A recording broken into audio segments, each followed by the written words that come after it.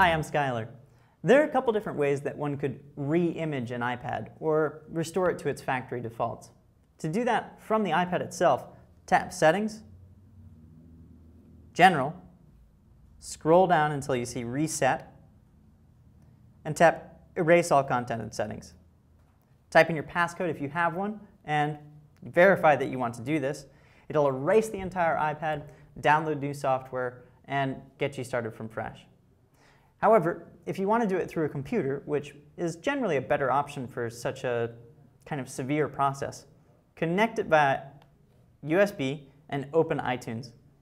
On the summary page of my iPad, I see this option here, Restore iPad. This will re-image the iPad to factory settings. Thanks for watching. I'm Skylar.